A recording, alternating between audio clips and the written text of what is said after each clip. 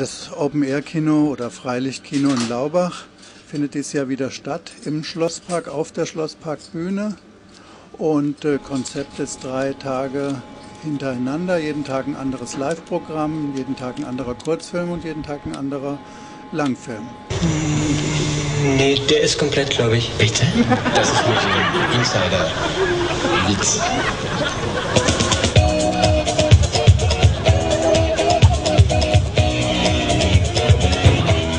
Seit über 15 Jahren in Laubach äh, Open-Air-Kino am Schloss direkt.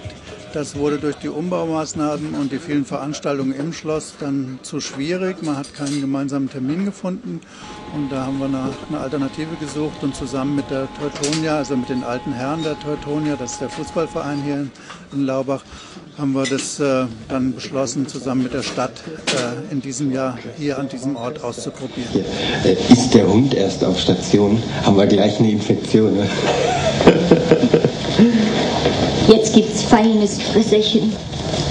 Ich hatte doch irgendwo.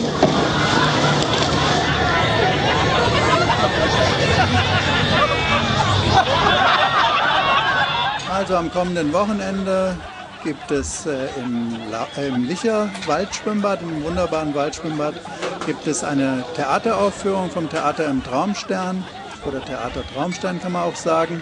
Die spielen dort Diener zweier Herren auf der Naturbühne und also wer nächste Woche noch Zeit hat und Lust hat, wunderschönes Ambiente, wunderbares Stück, gute Schauspieler, viel Spaß.